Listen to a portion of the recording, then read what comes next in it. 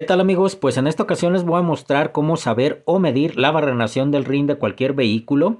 Esto es algo muy sencillo de realizar. Yo me apoyaré del rin de este coche que es de la marca Volkswagen, pero básicamente lo mismo para cualquier unidad. Y bueno, lo primero que vamos a hacer es ubicar cuántos barrenos u orificios o birlos tiene el rin. En este caso, bueno, son 1, 2, 3, 4. Y bueno, una vez que ubicamos cuántos barrenos tiene el rin, lo siguiente vamos a identificar los que están más alejados uno de otro, es decir, por ejemplo, este con este y este con este.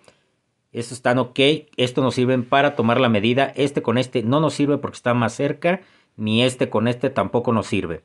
Entonces ya posteriormente a esto yo me voy a apoyar de un flexómetro, por aquí lo tengo para tomar la medida.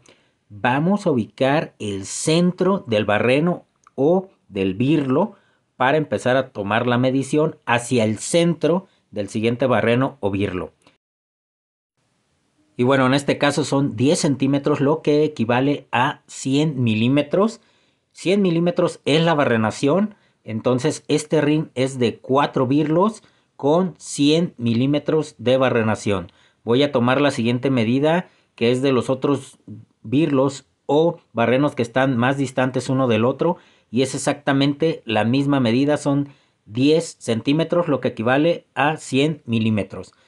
Mediré los que están más cercanos, los que no nos sirven, para que vean que es una medida totalmente diferente. Es de centro a centro también. Son aproximadamente 7 centímetros, 70 milímetros. Esta medida creo que ni siquiera existe, entonces esta no nos sirve. Ni esta de aquí de este lado va a ser básicamente lo mismo. 7 centímetros, 70 milímetros, entonces esta no nos sirve. Entonces medir del barreno más alejado uno de otro, este con este y este con este. Justo de la mitad de cada barreno vamos a empezar a medir y finalizamos a la mitad del siguiente barreno.